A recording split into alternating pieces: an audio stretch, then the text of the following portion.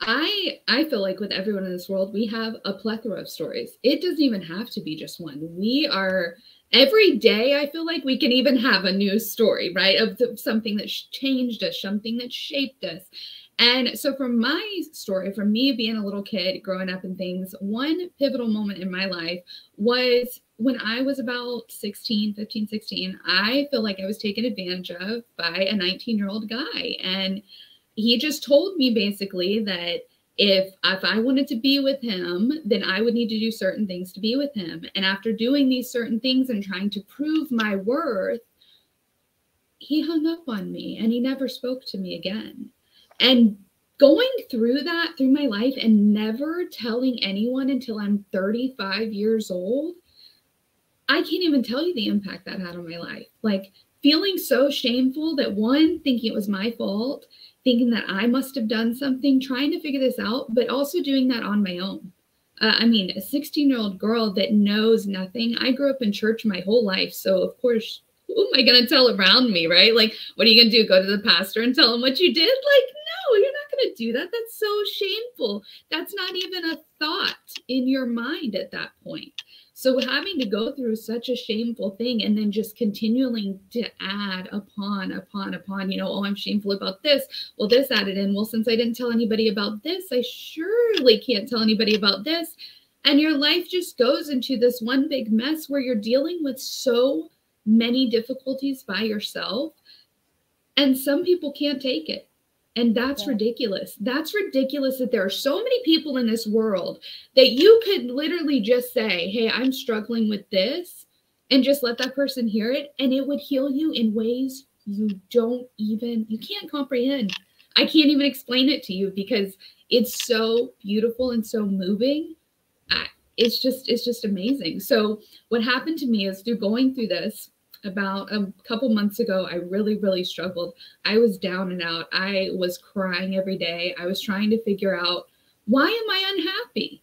How could I be unhappy? I have a house. It's beautiful. I have four children. I have a husband that unconditionally loves me. How could I look at myself and think that I'm not where I should be? How how could that even be a thing right? Like everybody society says you got this you got this you got this and i checked it off my list. So where's the happiness come? Why am i not receiving this?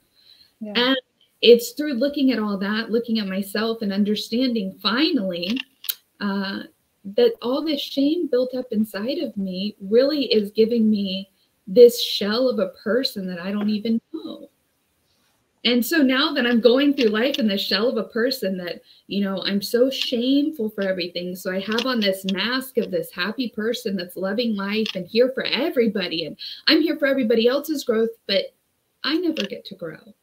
Yeah. That's that's amazing. Like, how am I sitting around watching everyone around me grow? I'm clapping for them. I'm cheering from the sidelines. I'm giving them every bit of positivity, but nobody is giving anything to me, including myself.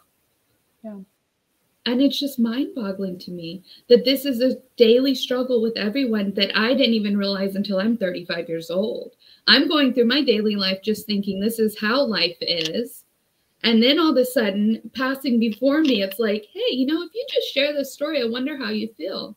And that's where I got. I got to the point of, if I'll just share this, I wonder what could happen. What's the worst that could happen, right? You say you don't like me. Well, I don't like myself. So you're not yeah. doing, you're not going to hurt me any more than I've hurt myself. That's yeah. wild. So I come and I decide, okay, I'm going to share this story. Like I told you, no one knows this story. Like my husband does not know this story. And so I decide that I'm going to randomly start a podcast and I'm going to share it. I'm going to see what happens.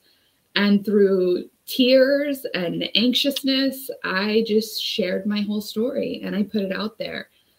And I could not believe people that have just passed me by, acquaintances that I never thought would give me the time of day because I didn't deserve it, because I see how these amazing people are, right? I can always find amazing people around me. I just don't think I'm worthy enough to talk to them. Yeah. So when I shared my story and these people that I put up here on this amazing level started meeting me where I was at mm-hmm. and started saying, Hey, I felt that way before. It wasn't the same situation, but man, I could tell you some stories where I have felt so shameful, I didn't think I'd ever get over it. And these people start coming out of the woodworks and things that I never expected to even bless me, bless me more than I could ever even imagine. Because you have people saying, I'm so sad. Can I just call you? Can I just share my sadness with you? Can you just hear it and tell me that it's okay? Tell me that I'm going to make it, that I'm going to get up and I'm going to go on the next day and it's going to be okay. Yeah. And you wouldn't believe the amount of people that could just absorb that and change their whole lives. It's just, it's incredible.